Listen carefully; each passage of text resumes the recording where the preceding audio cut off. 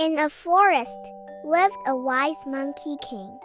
Once upon a time there was a dry season. The lake water they used to drink was already dry. Then the Monkey King invited all his people to move to find another lake that still had water.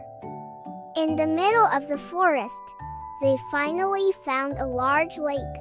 The water is cool and clear, but unfortunately, the lake was ruled by a great evil giant. I will eat anyone who dares to descend into this lake, cried the giant menacingly.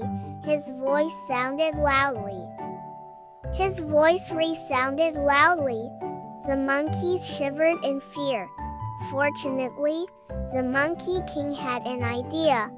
Around the lake, the Monkey King saw many bamboo trees growing. Do not be afraid. The giant will only eat us if we go down into the lake, cried the Monkey King to the monkeys.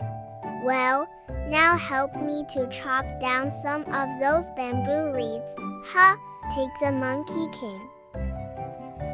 Cleverly, the Monkey King invited all the monkeys to put the long bamboo reed into the lake without having to go down to the lake.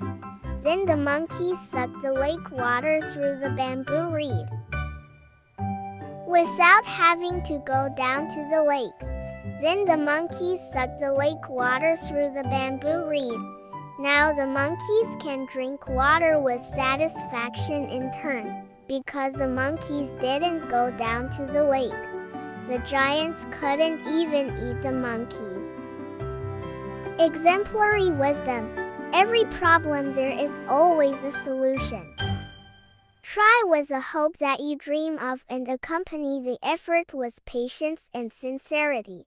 In order not to despair in the face of problems, see that everything is natural and can be tried to be better. Thank you.